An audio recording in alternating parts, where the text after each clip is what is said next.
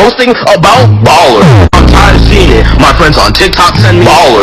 On Discord it's fucking baller. I was in studio origami, right? And all the channels were just baller.